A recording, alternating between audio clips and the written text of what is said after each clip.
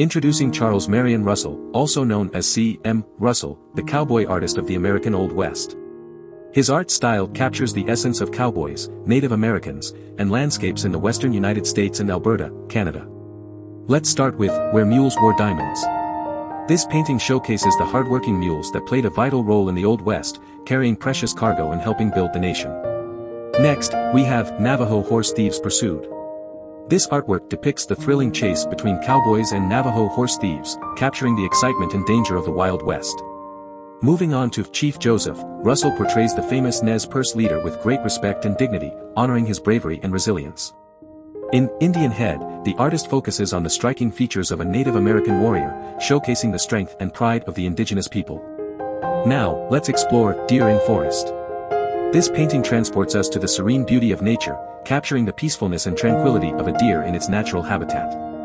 In He Tripped and Fell into a Den on a Mother Bear and Her Cubs, Russell tells a story through his art, depicting a thrilling encounter between a man and a bear, reminding us of the dangers that lurk in the wilderness.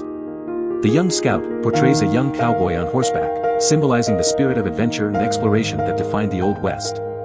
The scouting party showcases a group of cowboys on a mission, highlighting the camaraderie and teamwork that were essential in the rugged frontier.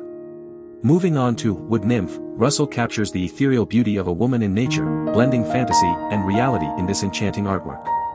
In Indian Buck, the artist celebrates the strength and grace of a Native American warrior, showcasing the rich cultural heritage of the indigenous people.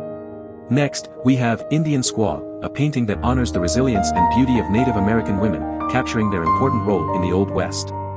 In Indian with Rifle, Russell portrays a Native American warrior with a rifle, symbolizing the changing times and the challenges faced by the indigenous people. Mountain Sheep takes us to the rugged landscapes of the West, showcasing the majestic beauty of these animals in their natural habitat.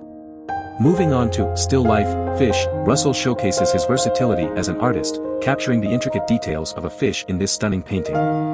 In White Tails, the artist brings to life the grace and elegance of white-tailed deer, reminding us of the diverse wildlife that thrived in the Old West. There May Be Danger Ahead captures the tension and uncertainty of the frontier, reminding us of the risks and challenges faced by those who ventured into the unknown. Finally, Indian with his Winchester portrays a Native American warrior with his Winchester rifle, symbolizing the complex relationship between Native Americans and the encroaching settlers. These are just a few examples of Charles Marion Russell's incredible body of work, showcasing his talent for capturing the spirit of the American Old West.